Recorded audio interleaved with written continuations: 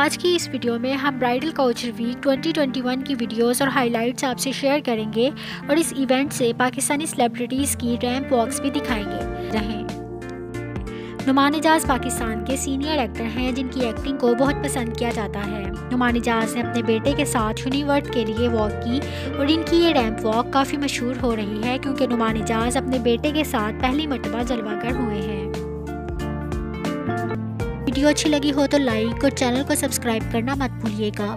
साथ ही साथ bell icon को भी प्रेस कर लें ताकि नई आने वाली लेटेस्ट वीडियोस आपको मिलती रहें।